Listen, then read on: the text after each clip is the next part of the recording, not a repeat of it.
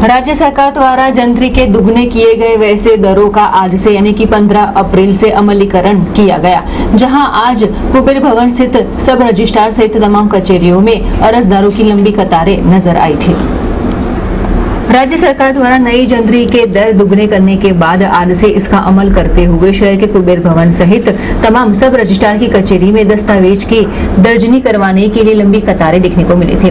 ज़ाहिर सी बात है कि राज्य सरकार ने 12 सालों के बाद जंतरी के दरों में बदलाव किया है, जो कि मल्टी स्टोरी इमारत के लिए पेड एफएसआई दुगनी होने के साथ कीमत में भी बढ़ावा हो सकता है। इस बारे में अधिकतम बिल्डर और क्रेडाई द्वारा सरकार समक्ष रजुआत की जाएगी। राज्य सरकार द्वारा 12 सालों के बाद थोड़े वक्त पहले ही जंतरी में बदलाव करने के साथ डबल करने के लिए घोषणा की गई थी। उस वक्त भारी हल्ला मचा था।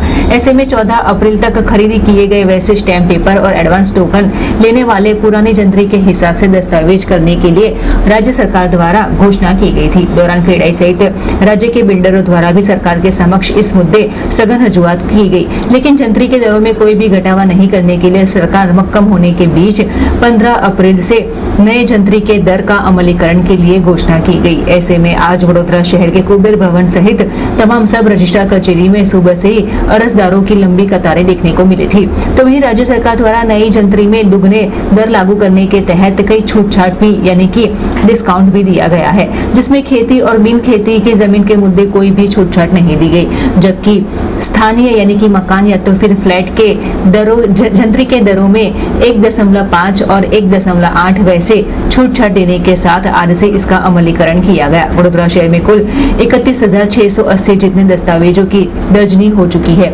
ऐसे में राज्य सरकार को करीबन दो सौ अठासी करोड़ जितनी आमदनी हुई थी। ऐसे में पुरानी जंतरी के हिसाब से नए दस्तावेज़ की दर्ज करवाने की मुद्दत कल ही पूर्ण होते हुए आज से नई जंतरी का अमल शुरू कर दिया गया है। तो वही शहर के मध्य में स्थित वैसे कुबेर भवन सहित सब रजिस्ट्रार की विविध तमाम कचेरी पर आज दस्तावेज़ की दर्जनी करवाने के लिए लंबी कतारें नज़र आने के साथ यहाँ पर आए वैसे અરજદારોને इस मुद्दे अपनी प्रतिक्रिया दी थी જંત્રી વધારવી જોઈએ એ વાત સાથે હું સંમત છું કારણ કે જંત્રી છેલ્લી રિવાઇઝ થઈ બે હજાર અગિયારમાં એટલે આજે બાર વર્ષ થયા પણ જંત્રીનો વધારો એરિયા વાઇઝ પ્રપોર્શનેટ ગવર્મેન્ટે એનાલિસિસ કરીને વધારવી જોઈતી હતી કારણ કે ઘણી જગ્યાએ જંત્રીના દર માર્કેટ પ્રાઇસ કરતાં બી વધારે છે અને ઘણી જગ્યાએ માર્કેટ પ્રાઇસ કરતાં ઓછા પણ છે તો શું કહો છો? નવી જંત્રી જે છે લાગુ પડી છે એનાથી તમે સંતુષ્ટ છો? સંતુષ્ટ તો ટોટલ સંતુષ્ટ તો કોઈ ન થાય. બરાબર કે નહીં? પણ સરકારે એની પર થોડું વધારે હોમવર્ક કરવા જેવું હતું. ફ્લેટ હંડ્રેડ પર્સન્ટ વધારવાને બદલે.